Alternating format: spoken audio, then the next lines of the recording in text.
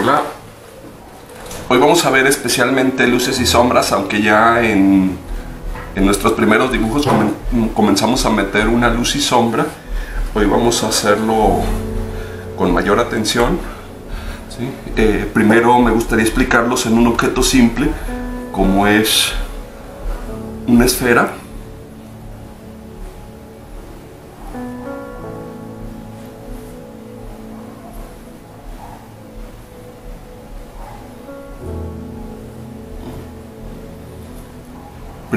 Explico mm, cómo solemos a veces interpretar eh, la sombra y desde luego no la, la manera más afortunada, ¿no? pero a través de la experiencia como profesor me he dado cuenta de que la mayoría de alumnos lo interpreta de esta manera.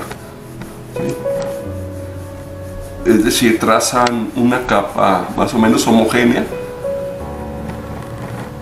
de sombra y van reforzando con una segunda capa ligeramente entrecruzada, van reforzando cerca del contorno, van produciendo tonos más oscuros.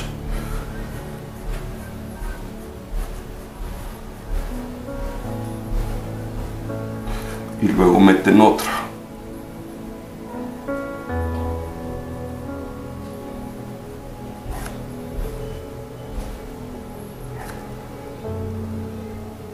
Y luego meten otra. Entonces meten cuatro, cinco o seis capas. Y luego hacen la sombra proyectada y también meten una capa homogénea de sombra. Entonces esta sería la representación que normalmente suelen hacer.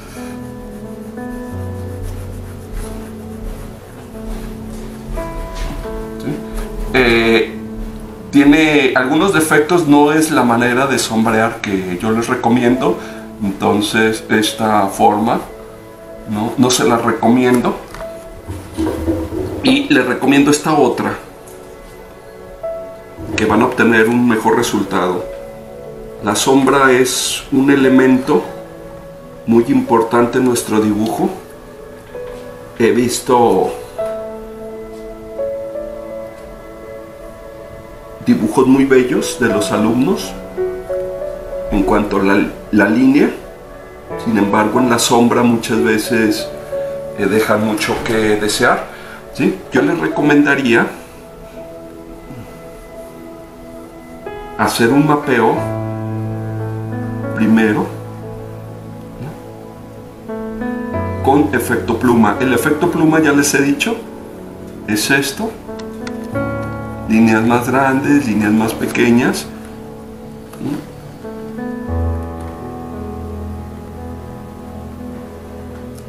En unas partes saturamos más. No es... No es esto, no son todas del mismo tamaño, sino que vamos haciendo variaciones.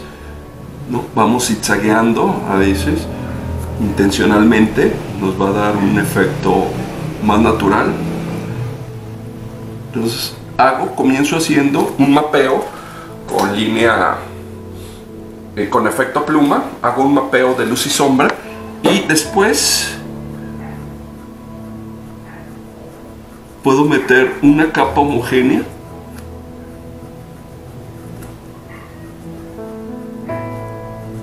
en la sombra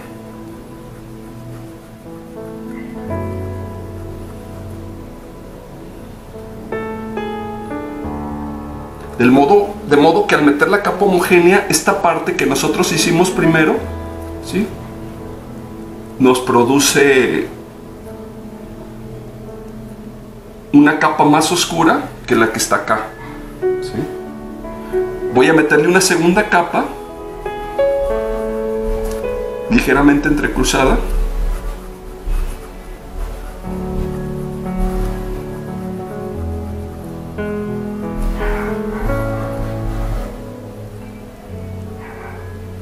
Y la parte más oscura no queda en este lado como lo, estamos, lo hicimos aquí. La parte más oscura no está en el contorno sino la parte más oscura está en la línea cercana al mapeo esta parte voy a reforzarla más.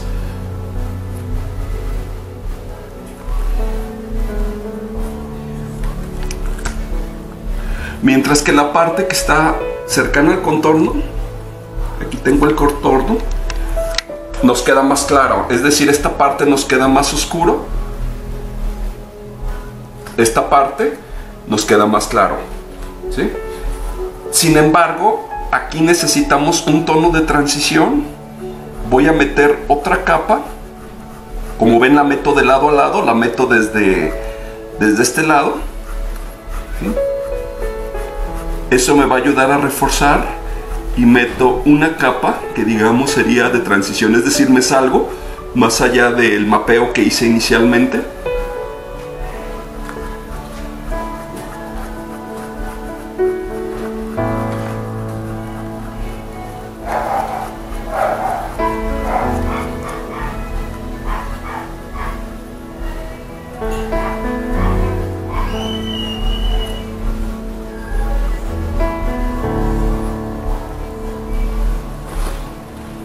Ahora, la sombra que se nos forma aquí en este lado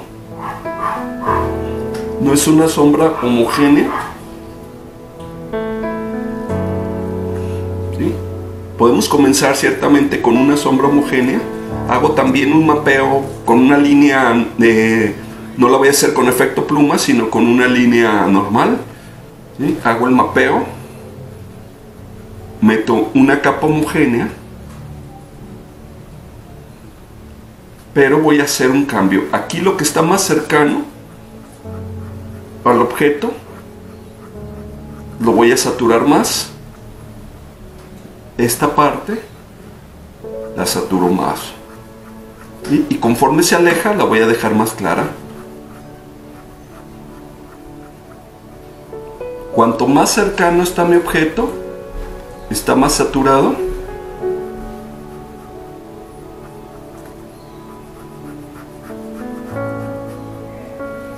se aleja está menos saturado, ¿no?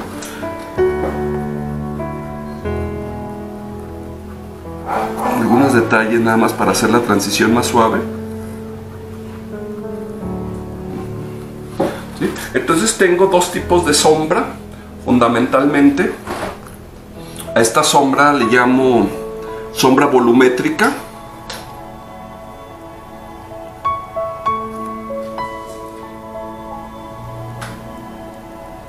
porque me revela el volumen del objeto. ¿sí? En cambio, esta la vamos a llamar sombra proyectada.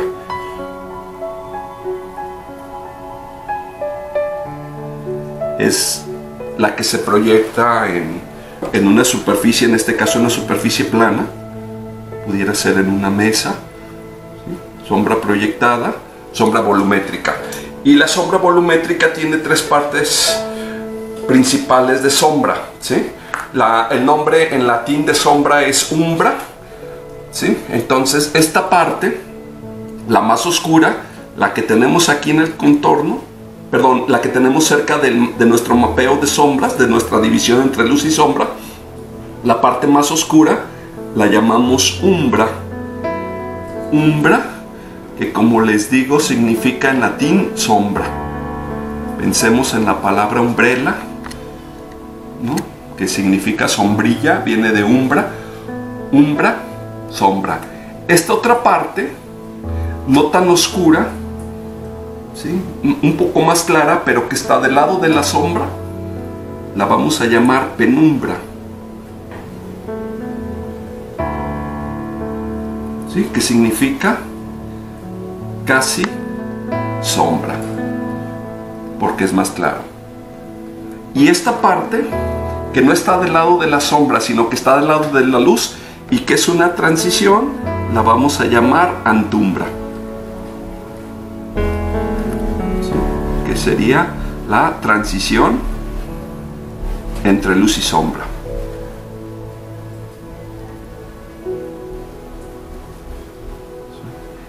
Eh, entonces, las tres partes, la parte más oscura es la umbra, ¿sí? está donde hicimos el mapeo, la división entre luces y sombras, la penumbra, que está del lado siempre de la sombra, ¿sí?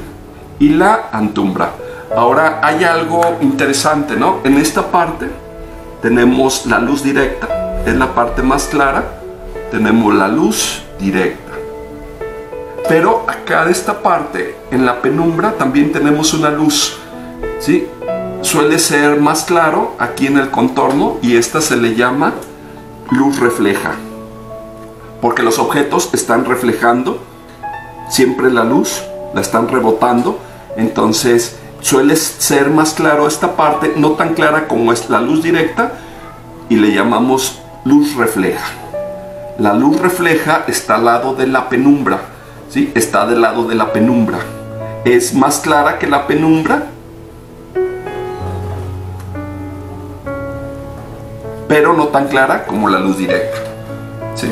Esta sería luz refleja. La penumbra es más oscura que la luz refleja. ¿sí?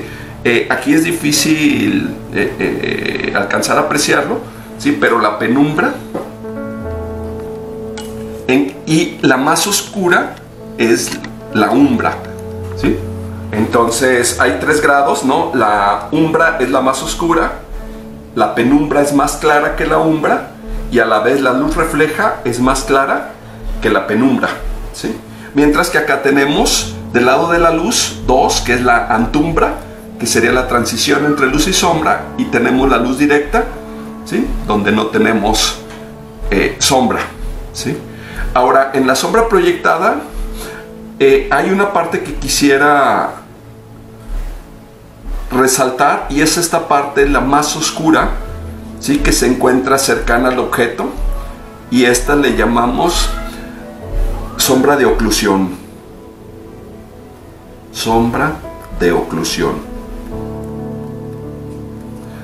La sombra de oclusión se encuentra en la sombra proyectada, pero en la parte más oscura. ¿Sí? es la, cercana al objeto, esta sería la sombra de oclusión. Entonces, repito, por pedagogía debemos, eh, cuando nosotros hacemos un dibujo, identificar la luz directa, como serían estas partes, ¿no? Eh, eh, tenemos luz y sombra, una división entre luz y sombra, ¿sí? Esta parte sería aquí de, este lado estaría la sombra, de este lado tendría la luz. En la luz se encuentra la luz directa y también tenemos un medio tono que sería la antumbra. ¿sí? Este medio tono sería la antumbra.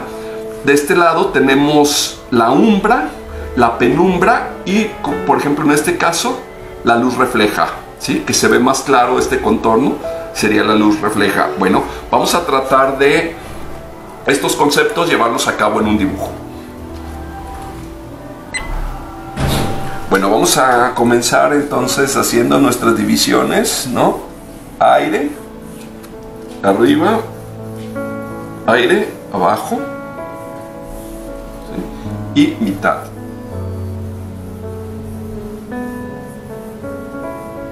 Esta parte, la parte superior, la vamos a dividir a su vez en cuatro partes iguales, ¿sí? Entonces comenzamos dividiendo la parte superior a la mitad y luego esta a la vez en la mitad y esta a la mitad. Y esta solamente en dos partes solamente la dividimos una vez eh, este sería el espacio para la cabeza. Voy a empezar a, a bocetarlo. Todo sería la cabeza entonces es con todo y mandíbula en el modelo. No se ve la cabeza completa se ve solo una parte no importa yo voy a hacerlo todo, aunque está cubierta por el hombro. ¿sí? es toda la cabeza, entonces a la hora de hacerlo puede ser todo, ¿no? Observo la línea media.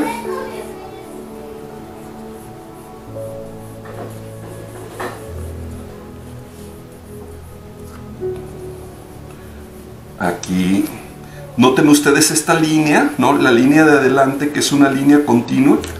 ¿sí? Pueden ver es un lado pasivo mientras que la parte de atrás es el lado activo.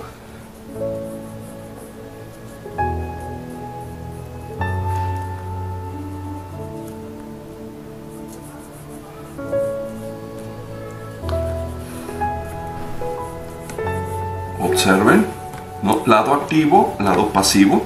Y vean la continuidad que tiene. En este caso sería una estructura en S, ¿sí? Pero vean la continuidad.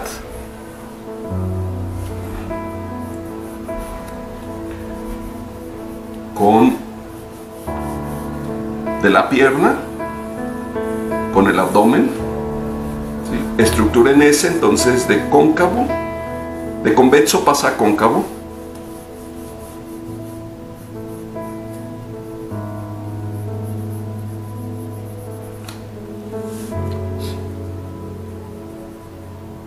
Esta sería la parte de la, de la pelvis. Entonces aquí se termina la pelvis en esta línea, sería la línea de la mitad. Y este obviamente sería también en espacio, en, en estructura en S. ¿sí? Tengo que ver la relación de una rodilla con la otra. Vean que no se encuentran las dos en la misma línea horizontal.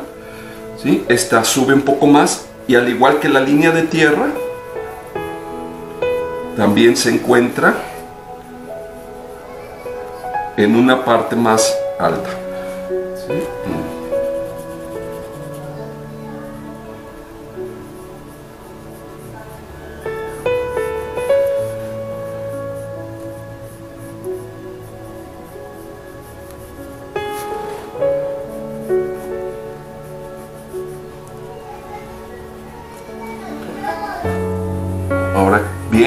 Habíamos dibujado la, el cráneo completo, ahora lo tapamos por el hombro, ¿sí? Y observo la relación que existe de la pelvis, es como si trazara una circunferencia desde aquí, una, un cuarto de circunferencia, aquí ubico y es como si trazara ese cuarto de circunferencia para ver, ¿sí? ¿Cuál es el largo del brazo? Aquí lo voy a poner la mano. Puedo tomar otras relaciones, ¿no? por ejemplo aquí de la mano con el pie, incluso este eh, lo puedo hacer un poquito, ¿no? Se vale hacer arrepentimientos antes de hacer nuestro dibujo, todos los arrepentimientos necesarios. Brazo, antebrazo y mano los uno con una curva y este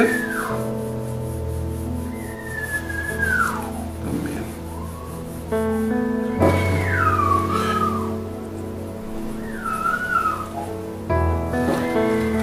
Bueno, ahí está más o menos. Voy a empezar a, a trazar con azul, ¿no?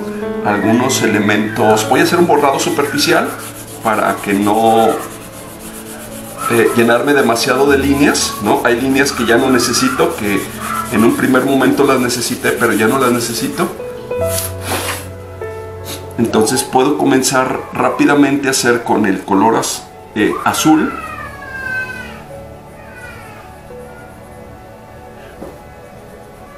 Tanto el mapeo, un mapeo rápido de luces y sombras. No vean, por ejemplo, este pico. Va a ser muy importante aquí. Lo hice con unos cilindros muy fáciles, ¿no? Pero ahora tengo que empezar a meter detalles, el codo, ¿no? El músculo tríceps, el bíceps por la parte superior, el deltoides. Igual aquí la columna.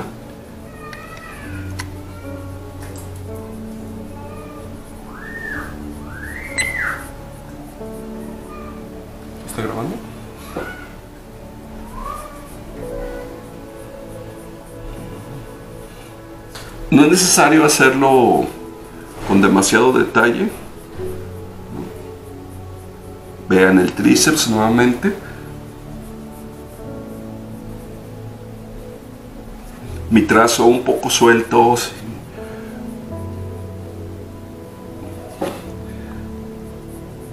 Las nalgas con efectos de angulosidad. Aquí lo que ya hemos visto, la espina ilíaca antero superior, noten ustedes cómo la exagero para darle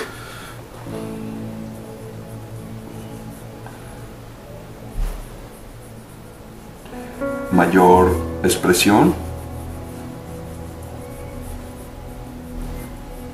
Este músculo que se llama supinador, etcétera.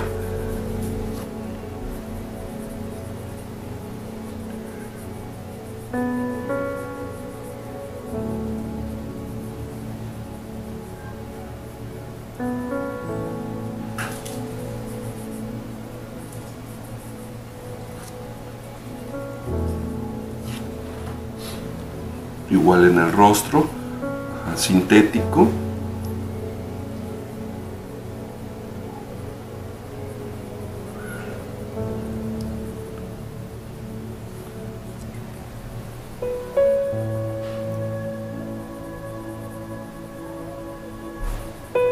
El cabello de manera muy sintética empiezo a resolverlo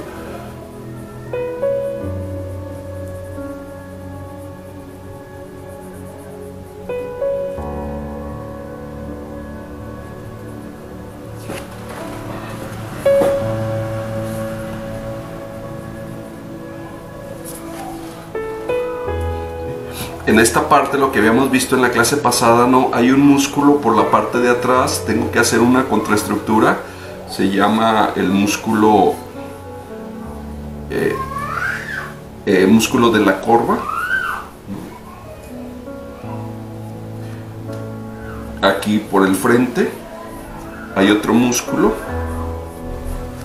que se llama tibial anterior, tibial anterior porque está delante de la tibia.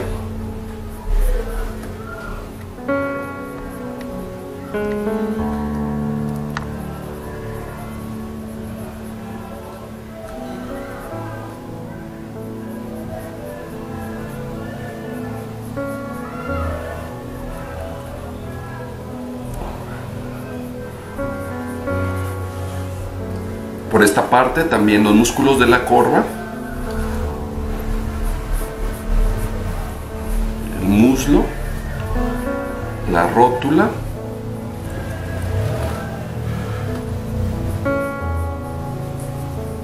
Los músculos gemelos.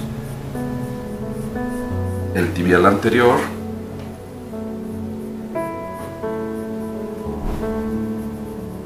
Y el pie sintético, el empeine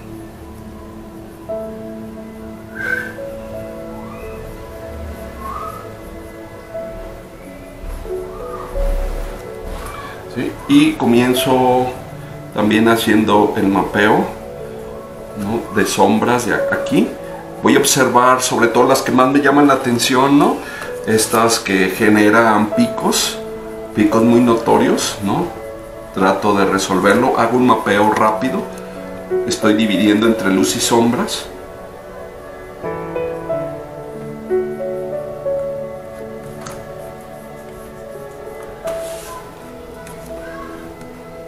todo esto está en sombra, ¿no? Entonces, hasta ahí me parece que está listo el mapeo.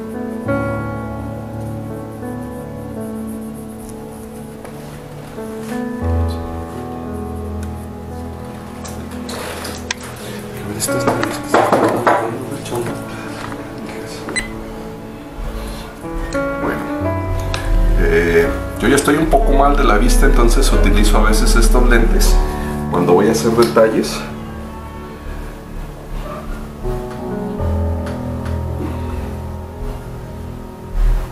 Vamos a comenzar.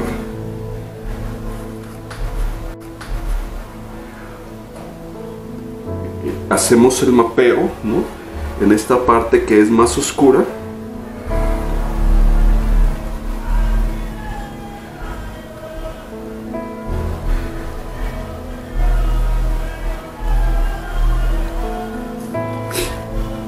con cierta celeridad vamos a trabajar, tampoco vamos a... eh, no quisiera, son ejercicios, entonces eh, ciertamente hay trabajos en donde debemos hacerlo más cuidadoso, pero en los ejercicios debemos aprender a trabajar con una cierta rapidez para obtener un buen resultado en poco tiempo. Entonces los hacemos con cuidado, pero a la vez trabajando con un poco de rapidez. Miren, esta parte la refuerzo. Esta sería mi umbra, que es la parte más oscura. De este lado tengo, desde luego, la penumbra, ¿sí? umbra, y comienzo sombrear esta parte. Como que ya tengo umbra y penumbra.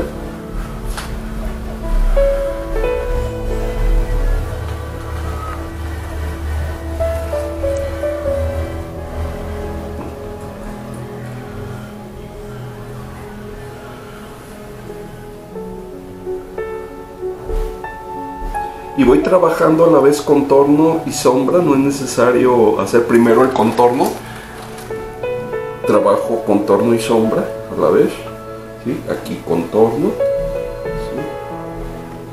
y voy definiendo la, la umbra,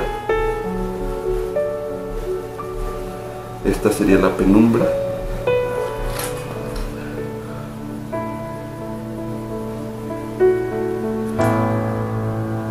otra capa homogénea.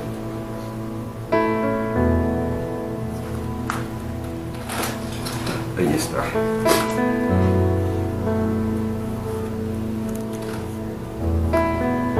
Vean estas partes que se llaman eh, líneas de enlace, muy interesantes. Entonces aquí hay partes en donde pongo más atención que en otras, como en esta parte en las líneas de enlace, suelo detenerme y observar con mayor cuidado porque estas líneas a pesar de ser eh, pequeñas le dan demasiada eh, hacen le, le, dan mucha veracidad a mi dibujo. Hay algunos elementos como aquí las vértebras en donde quiero que que se perciban muy bien. Y otros elementos los sintetizo es decir eh, dibujar es jerarquizar a la vez qué elementos son más importantes, cuáles son menos importantes.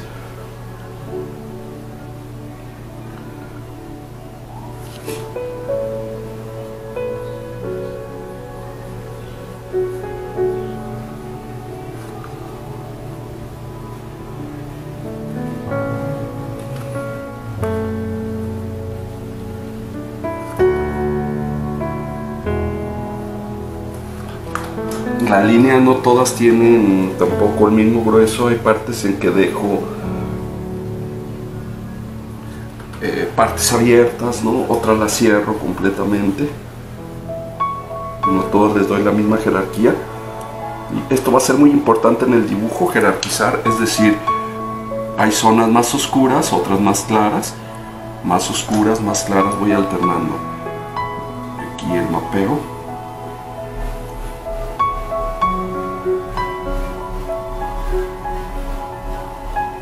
A la vez que voy haciendo el mapeo voy haciendo la umbra. Las dos cosas es al mismo tiempo. Me fijo en la forma de la sombra y después meto bloques este, de sombra que sería la penumbra estos bloques.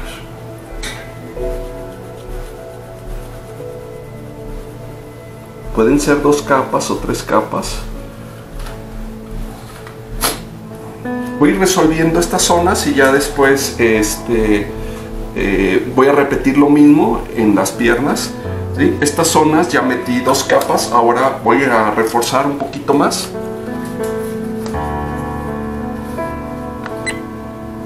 Bueno, aquí voy a reforzar, voy a ver las sombras de oclusión. Aquí hay una sombra proyectada, ¿no? Y esta parte cercana al brazo es una sombra de oclusión. Entonces empiezo a, a representar los valores, ¿sí? este, esta parte más oscura. Aquí está desde luego el vello púbico, también muy oscuro. No todas van a tener lo mismo. Aquí el brazo.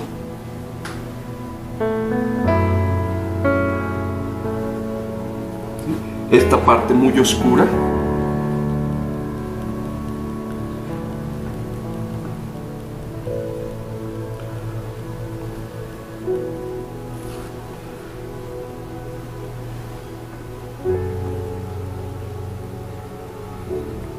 voy seleccionando lo que es más oscuro, lo que es más claro.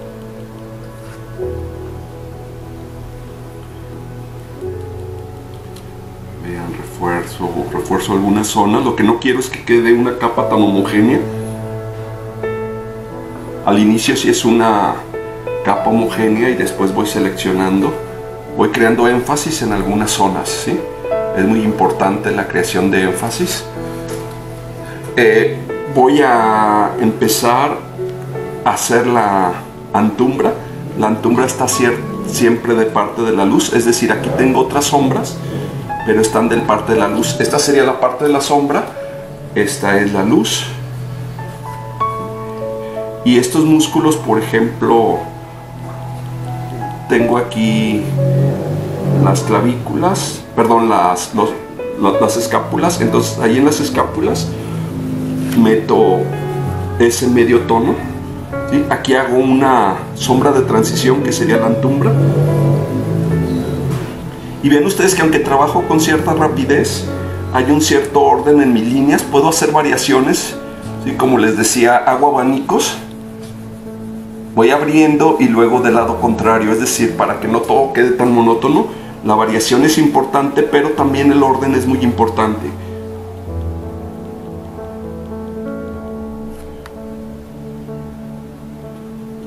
esta parte cerca de la columna.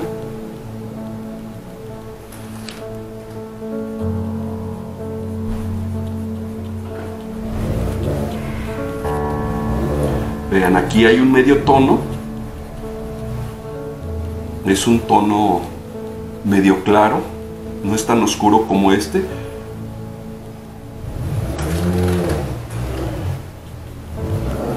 Entonces va a ser importante, ¿no? La antumbra y refuerzo también algunas zonas por ejemplo esta parte de acá es más oscura voy reforzando no es esta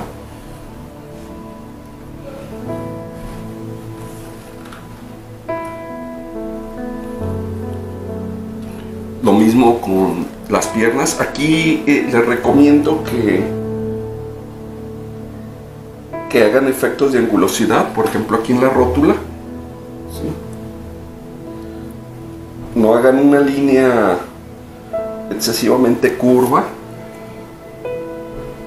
sino prefieran los ángulos. Por ejemplo, esto lo pudiera hacer línea de curva, entonces prefiero meter ángulos. Hago en algunas zonas línea múltiple para que en unas partes me queden más oscuras, otras más claras por ejemplo, esta más oscura, acá se va aclarando, se rompe, etc. ¿Sí? Las variaciones, siempre las variaciones. El mapeo.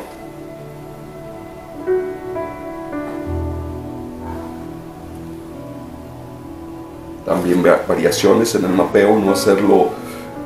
Eh, a veces se hace más largas las líneas y luego se vuelven cortas y luego suben, luego bajan, descienden, ascienden, etcétera, ir haciendo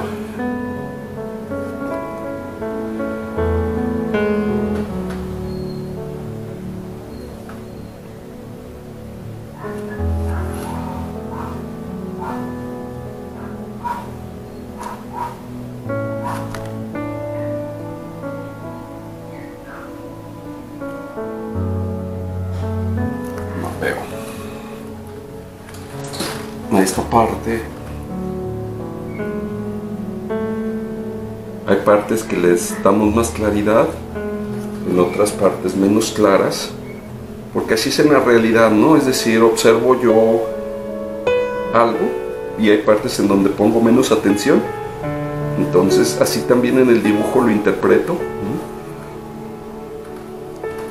Hay zonas a las que dedico menos atención, las hago más sintéticas. Vamos a obtener un mejor resultado jerarquizando que, darle a todo el mismo grado de detalle o el mismo grado de atención, entonces es mejor eh, trabajar partes aparentemente con mayor descuido, ¿sí? aunque ese descuido es intencional, ¿no?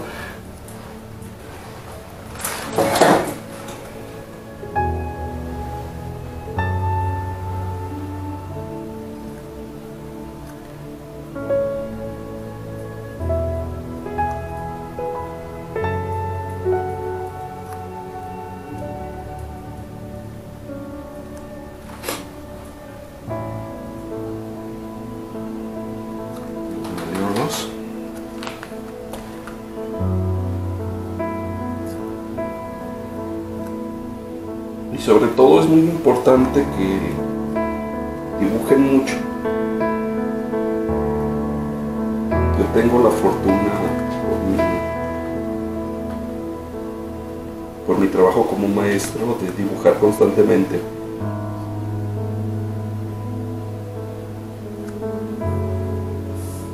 he perdido ciertamente práctica ahora que no están, que no trabajo con los chicos, pero normalmente no, mis horas de clase son también horas de dibujo.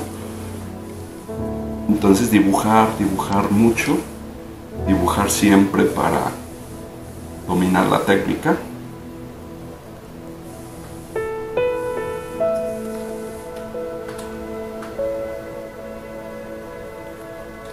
Bueno, voy a meter aquí la sombra y vean, es toda esta parte, ¿no?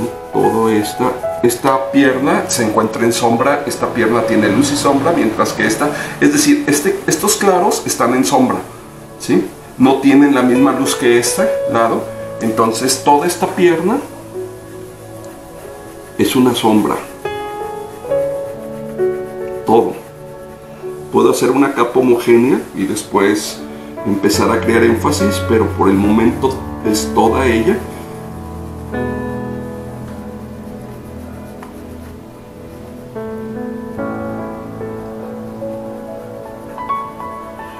también les recomiendo que su trabajo no esté excesivamente controlado, ¿no? Este, yo a veces hago la sombra rápido, me salgo un poco a veces del contorno, no importa, porque eso le da esa sensación de espontaneidad. Cuando yo empecé a pintar, en pintura cuidaba mucho los contornos, mis contornos eran muy limpios, ¿no? y con el tiempo una de las de los artificios que he aprendido es que los contornos deben ser más vagos. Entonces por eso no está mal salirte.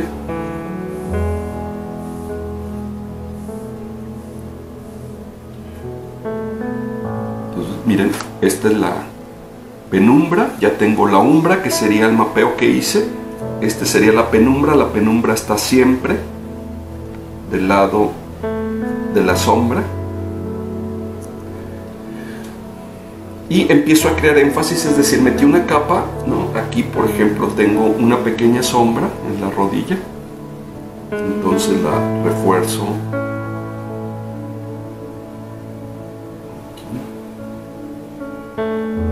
Voy creando énfasis, voy metiendo otras capas los énfasis los logro por presión y por saturación, es decir, cuanto más eh, quiero que me dé más oscuro, hago más presión y saturo más, ¿no? Por presión y por saturación. Yo nunca he sido muy amigo de, tener varios lápices, ¿no? Trabajo normalmente con eh, para sombrear con un solo lápiz, ¿no? que puede ser un 4B o un 6B. ¿sí? Y, logra, y logro los efectos no por el cambio de lápiz, sino por presión y por saturación. En este caso hago con la pluma todo el efecto.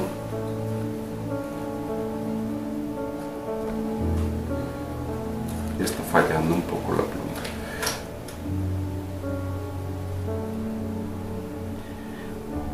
Si les gusta entintar, yo les recomiendo, ¿no? Hay, eh, prueben plumas, hay unas que se llaman de punta diamante de las Vic, son muy baratas.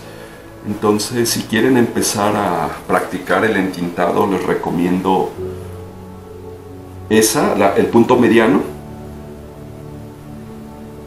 Y se llaman plumas punta diamante. ¿no? El punto grueso normalmente nos mancha, pero mi recomendación es que sobre todo ustedes experimenten con una y con otra hasta que encuentren las de su preferencia. Yo les digo con la que trabajo no, no, no, les digo que son las mejores para trabajar, ¿no? son las que a mí me han funcionado.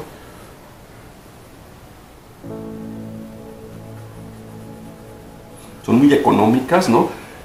Y también eh, como trabajo con frecuencia, entonces cuando está nueva funciona muy bien y después empiezan a fallar, aunque todavía tienen bastante tinta, no sé si pequeñas fibras del papel se van introduciendo en la punta, porque con el uso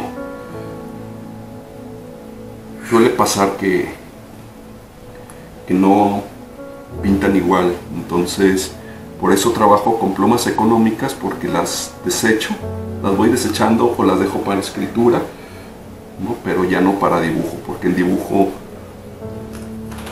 necesito que estén nuevas, que funcionen sin problema.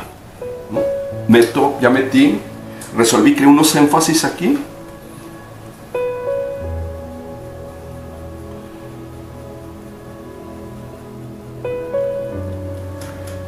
Eh, ahora acá voy a meter el medio tono que sería la antumbra observo la anatomía muy bien por ejemplo aquí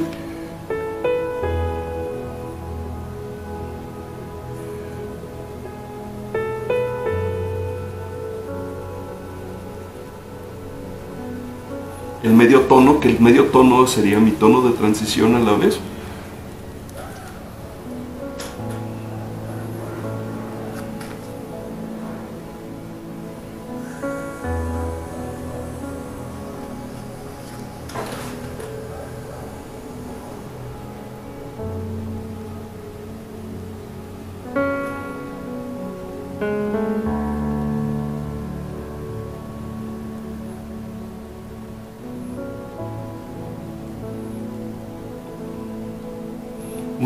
Casi las dejamos a la imaginación, es decir, las, las intervengo muy poco, otras me tardo más. obviamente me voy a tardar más donde quiero crear énfasis, donde quiero que la, la vista se fije mayor tiempo, donde no quiero que se fije tanto la vista.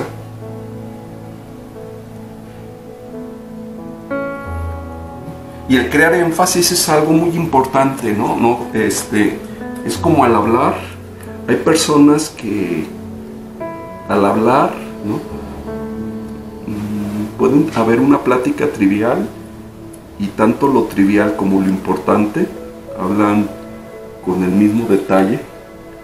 Entonces suele cansar a veces la plática.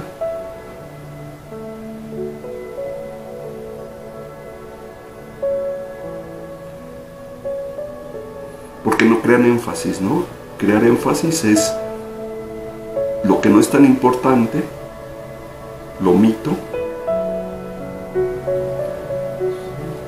o soy más sobrio con ello, en cambio lo que quiero que sea importante lo, lo describo de una manera más amplia y voy creando énfasis. Y hay personas que te platican todo con el mismo detalle. Entonces lo mismo sucede en el dibujo.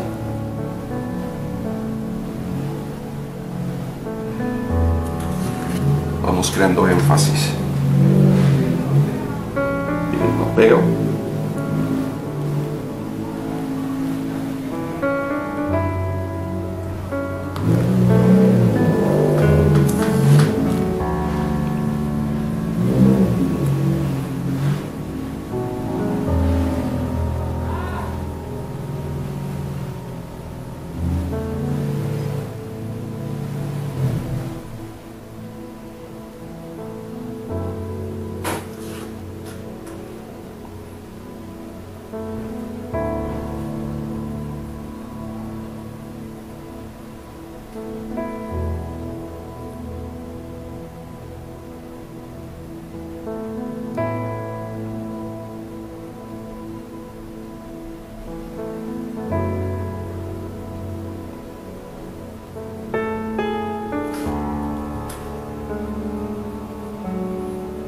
gustan mucho los ángulos que aparezcan en el dibujo ángulos más angulosas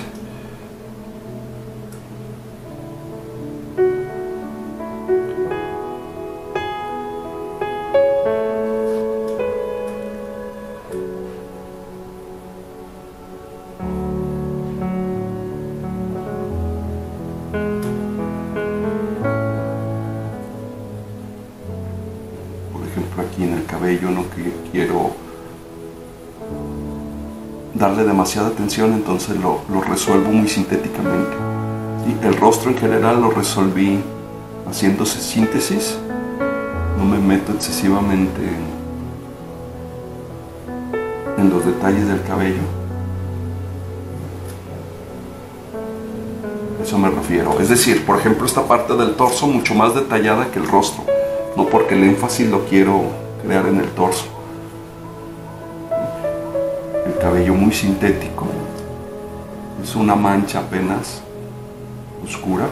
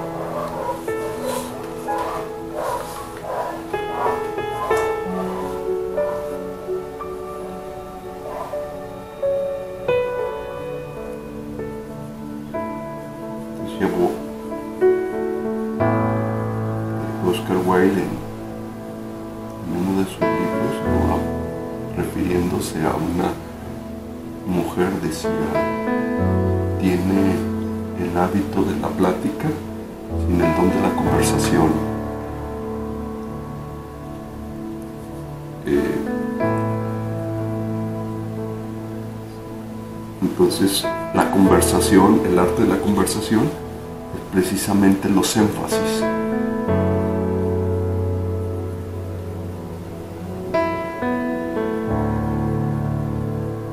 Jerarquizar. que es lo importante y que no lo mismo en el dibujo.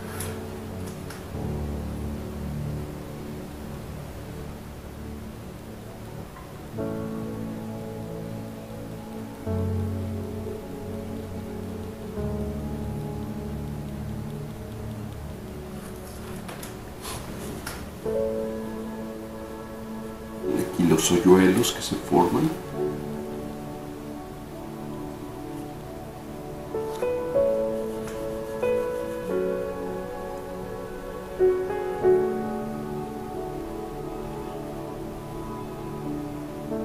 Ven aquí la antumbra y la umbra muy pegados en el antebrazo, muy pegados al contorno. Bueno, pues así los dejamos.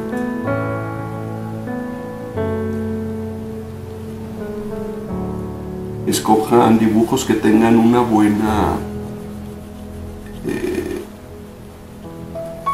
distinción entre luz y sombra, ¿no? para que eh, no todos los eh, las imágenes que encontrarán tienen de manera tan notoria los elementos que les dije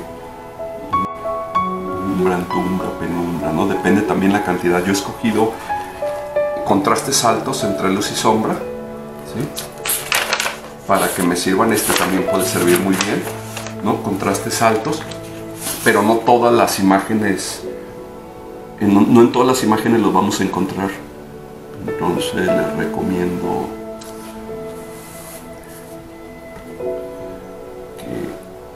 que busquen una buena imagen que les pueda servir para su ejercicio. Muy sintético los dedos, apenas esbozados, no es necesario, porque no quiero traer el énfasis aquí, no es, no es una cuestión de que no me salgan, sino que el énfasis no quiero que esté aquí.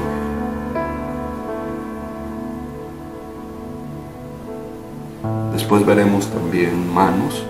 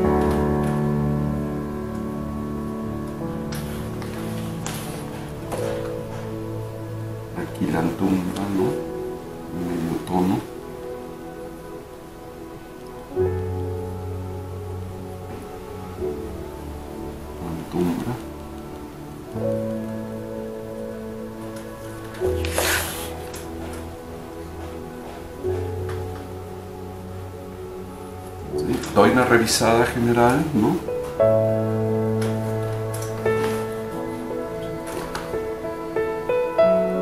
Donde hace falta, por ejemplo, aquí me parece que necesito saturar más.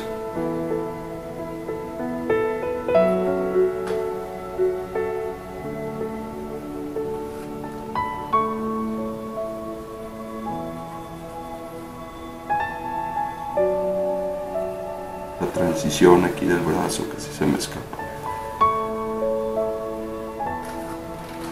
Listo. ¿Sí? Bueno, terminamos. Bueno, de tarea hay que hacer cinco dibujos con luz y sombra, más o menos como este que hice, ¿no? Eh, les decía que escojan una buena imagen, una buena fotografía para que se encuentren todos los elementos. Busquen en la imagen que sean fácilmente detectables. Todas las imágenes de hecho lo tienen, ¿no?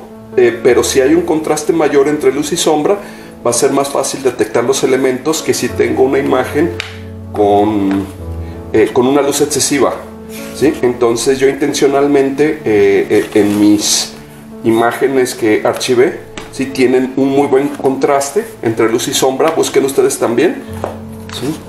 Este, busquen las suyas, ¿no? Aquí se encuentra de una manera muy clara que no sean imágenes con demasiada luz.